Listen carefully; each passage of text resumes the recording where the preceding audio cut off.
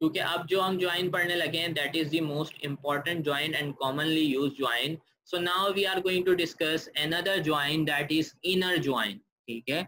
और ये most commonly use join है, ठीक है? ज़्यादातर आपके पास ये वाला ही ज्वाइन यूज़ होता है।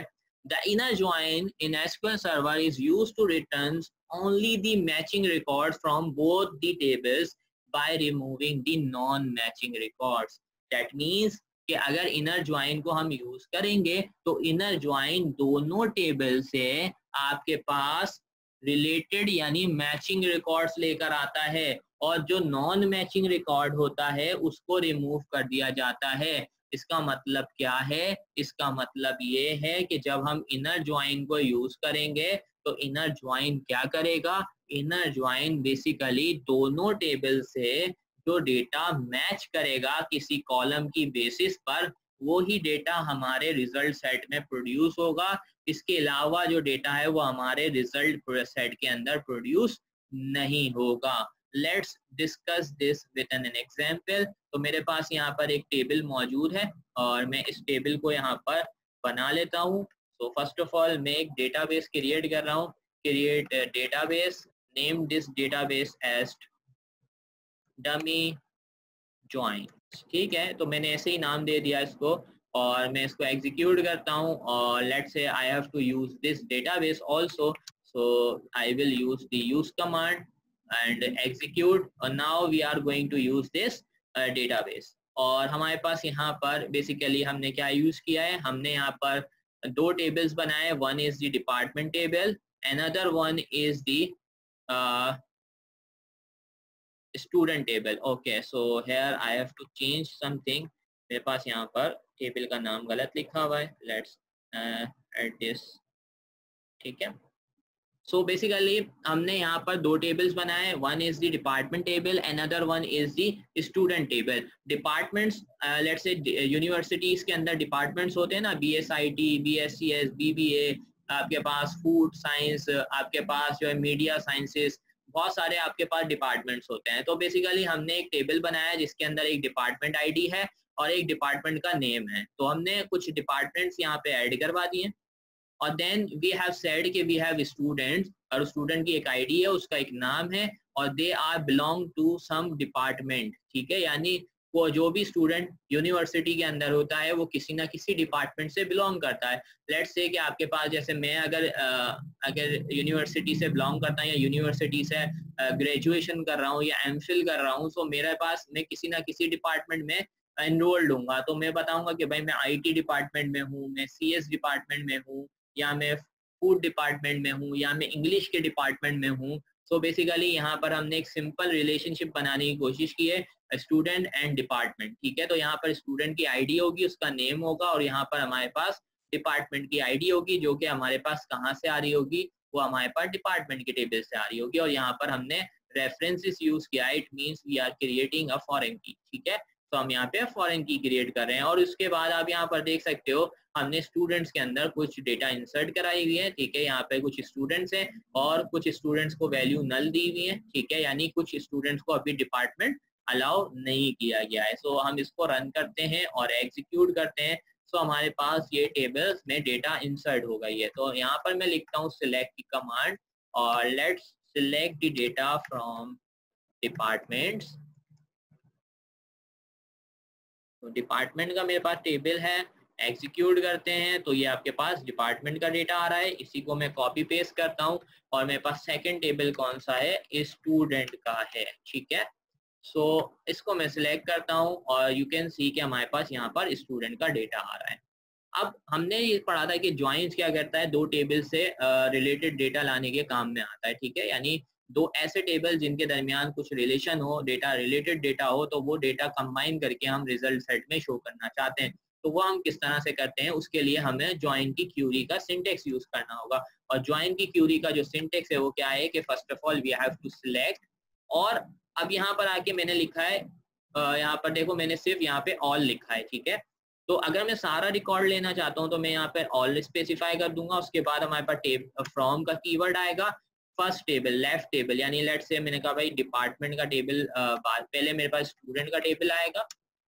यानी मैं स्टूडेंट से डेटा सिलेक्ट करना चाहता हूँ, सारा डेटा जो कि आप ज्वाइन की टाइप बताओगे। तो हम यहाँ पे इनर ज्वाइन यूज़ कर रहे हैं तो मैंने यहाँ स्पेसिफाई कर दिया सिलेक्ट करो स्टूडेंट के टेबल से सारा डेटा जो कि इनर ज्वाइन करे, किसको ज्वाइन करे, कौन से टेबल को ज्वाइन करे डिपार्टमेंट के टेबल को ज्वाइन करे। ऑन उसके बाद मैंने आपको बताया था कि हमारे पास दो टाइप्स के ज्वाइन थे आंसी और नॉन आंसी तो आंसी अगर हम, क्योंकि इनर ज्वाइन जो है वो आंसी जो फॉर्मेट ज्वाइन है तो उसके अंदर हमारे पास एक कीवर्ड यूज़ होगा ऑन ठीक है? अब इसके बाद आप बताएँगे कि इन दोनों टेबल के दरमियान आप जो है वो मैचिंग कॉलम किस बेसिस पे लाना चाहते हैं? क्योंकि इनर ज्वाइन ने क्या कहा कि इनर ज्वाइन से हमने ये सीखा कि इनर ज्वाइन ये कहता है कि दोनों टेबल से मैचिंग रोज लेकर आनी है। तो वो मैचिंग रोज किसी ना किसी बेसिस पर आएँगी। कोई ना कोई आपके पास कॉमन आपके पास यहाँ पे एट्रीब्यूट होगा जो कि दोनों टेबल में होगा, जो कि रिलेशन बना रहा है, ठीक है? सो हमें पता है कि डिपार्टमेंट के टेबल के अंदर हमारे पास डिपार्टमेंट की आईडी है और स्टूडेंट के टेबल के अंदर हमने डिपार्टमेंट आईडी बनाई है। तो ये दोनों जो कॉलम्स है, वो इंटर रिलेट यानी दोनों टेबल के अंदर सेम कॉमन कॉलम है। तो इनकी बेसिस पे हम जो है, वो मैचिंग डेटा लेकर आएँगे, ठीक है? सो अब वो कैसे लेकर आएँगे?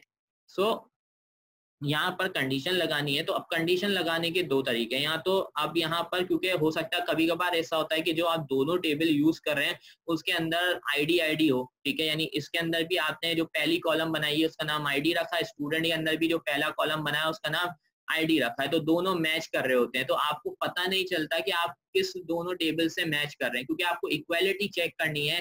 आईडी इक्वल्स टू आईडी लिखना है। तो आपको पता नहीं चल रहा कि भाई आप लेफ़्ट साइड पे कौन सी आईडी दे रहे हैं और राइट साइड पे कौन सी आईडी दे रहे हैं, कौन से टेबल की आईडी दे रहे हैं। तो उसको आसानी से अचीव करने के लिए we can use the aliases ठीक है? यानी हम एलियासिस यूज़ कर सकते हैं, यानी इस टेबल को हम एक नाम दे देते हैं टेम्पररी नाम लेट से एस ठीक है? क्योंकि इसका फुल नेम आपके पास स्टूडेंट बहुत बड़ा आ रहा है, ठीक है? हो सकता है आगे चल के ऐसे भी नाम हो student details student fees details department wise reports ठीक है? तो इस तरह के डेटा होते हैं, ठीक है? तो उसमें फिर अब पूरा पूरा देखने के लिए हमारे पास इशू आता है। जैसे अगर मुझे स्टूडेंट के टेबल की आईडी को यहाँ पे गेट करना है तो लेट से मैंने यहाँ पे लिखा स्टूडेंट और उसके बाद मैं डॉट लगाऊँगा तो ये सारे टेब उसकी फील्ड्स यहाँ पे शो कर रहा है, ठीक है? लेकिन ये लिखना आपके पास थोड़ा टिपिकल होता है, ठीक है? तो इसके लिए हम इसकी जगह यहाँ तो ये इस तरह से भी कर सकते हैं यहाँ फिर इसका एक आसान ये होता है, हल होता है कि हम स्टूडेंट यानी टेबल का जो नेम दिया, उसके बाद एलियास दे दें इसको एक एस ठीक है? और इसको एलियास दे देते हैं डी ठीक है? तो अब जब एस डॉट लिख के हम आईडी सिलेक्ट करेंगे तो हम यहाँ पर स्पेसिफाई कर रहे हैं कि we are selecting the student table ID और सिमिलरली कि हम अच्छा ठीक है स्टूडेंट के टेबल में जो है वो डिपार्टमेंट आईडी है। तो हम यहाँ पर ये स्पेसिफाई कर रहे हैं कि ये वाली जो आईडी है डिपार्टमेंट की आईडी वो कौन से टेबल से आ रही है? स्टूडेंट के टेबल से आ रही है। और किससे सेट करना है? डी डॉट यानी डी डॉट लिखा तो ये डिपार्टमेंट आईडी किधर से आ रही है? ये डिपार्टमेंट आईडी ये वाली है। तो इन दोनों टेबल की कॉलम्स को आप क्या करवा रहे हो?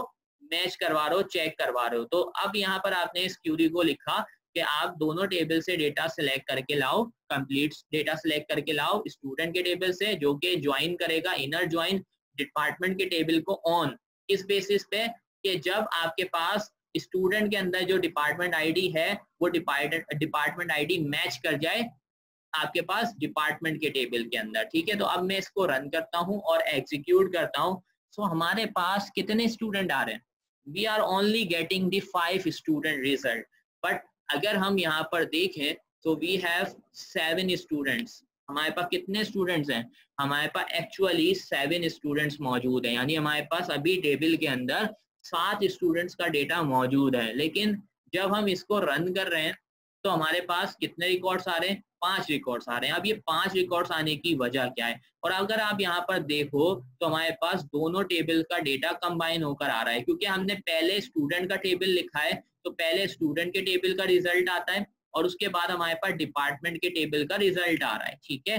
सो अब आप बोलते हो पर ये पाँच रिकॉर्ड क्यों आ रहे हैं? क्योंकि इनर ज्वाइन हमने अप्लाई किया था। तो इनर ज्वाइन क्या कहता है? इनर ज्वाइन ये कहता है कि दोनों टेबल से मैचिंग रोज लेकर आओ। अब ये मैचिंग रोज किस बेसिस पे हो रही है? देखो। इस वाले खालिद का जो टेबल है ना, यानी खालिद आपके पास बी एस आई टी से बिलोंग करता है। क्यों? क्योंकि खालिद का जो स्टूडेंट का टेबल है, उसके अंदर खालिद को कौन सी डिपार्टमेंट आईडी मिली हुई है? वन और यहाँ पर डिपार्टमेंट आईडी वन पे क्या है? बी एस आई टी तो ये दोनों टेबल यानी ये दो कॉलम जो है, वो दोनों क्या कर रही हैं, मैच कर रही हैं, जिसकी वजह से आपको ये रिकॉर्ड मिल रहा है।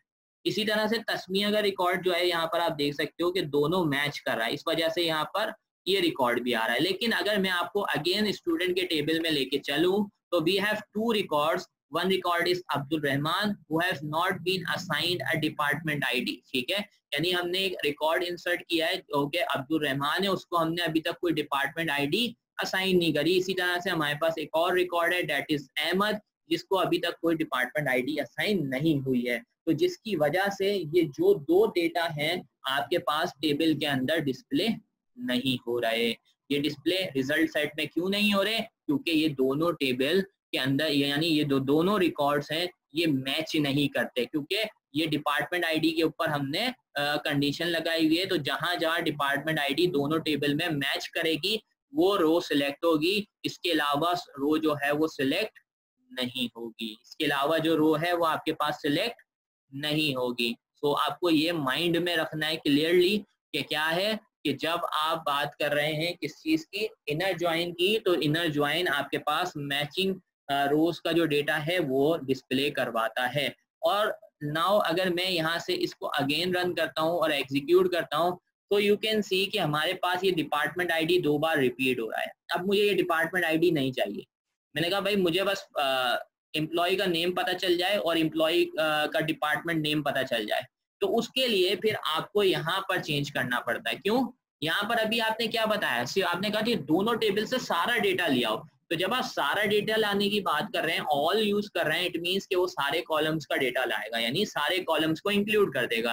आपने कहा, भाई, ये देखो डिपार्टमेंट आईडी बार बार दोनों जगह रिपीट हो रही है तो हम एक दफ़ा इसको कॉल कर लें, या हम इसको कॉल ही नहीं करें, क्योंकि हमें जो यूज़र है, उसको तो डिपार्टमेंट का नेम बताना है, उसको आईडी से क्या लेना देना, ठीक है? तो हमने कहा, भाई, इसको हम हटा देते हैं। तो इसको हटाने के लिए what we have to do हमने क्योंकि यहाँ पे एलासिस बनाए तो हम यहाँ से सेपरेट कर सकते हैं। हमने कहा, भाई एस डॉट फुल नेम यानी स्टूडेंट का नेम लिया हो और डी से डिपार्टमेंट का नेम लिया हो, बस। अब हमने बोला कि बस हम मुझे इस डेटा में से सिर्फ़ एक नेम चाहिए और डिपार्टमेंट का नेम चाहिए, बाकी ये तीन कॉलम्स मुझे इंक्लूड नहीं करने तो मैंने इस तरह से सिलेक्ट के अंदर उसको स्पेसिफाई कर दिया। एग्जीक्यूट करते हैं। So now you can see कि हमारे पास सिर्फ़ क्या आ रहा है? हमारे पास इनर ज्वाइन भी परफॉर्म हो गया, दो टेबल से डेटा आ रहा है। हमें जो है वो डेटा मिल रहा है दो टेबल से। और ये भी पता चल रहा है कि भाई जो एम्प्लॉय है वो किस तरह से रिलेट करता है और उस रिलेट करने के बाद हमें ये पता चल रहा है कि वो किस डिपार्टमेंट से बिलोंग करता है। तो यहाँ पर आप देख सकते हो कि हमारे हमें ये पता चल रहा है कि ये वाला स्टूडेंट बी से बिलोंग करता है, ये वाला स्टूडेंट बीएससीएस से बिलोंग करता है तो इस तरह से हम क्या कर सकते हैं with the help of inner join we can get the matching rows from the two table